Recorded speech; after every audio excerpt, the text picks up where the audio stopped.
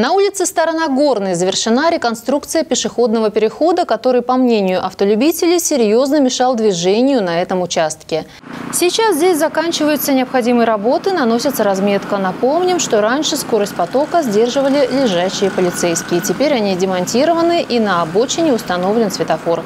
Во время нашей съемки он работал в тестовом режиме. Красный свет будет включаться после того, как пешеход нажмет кнопку. В остальное время на нем будет гореть разрешение решающий сигнал.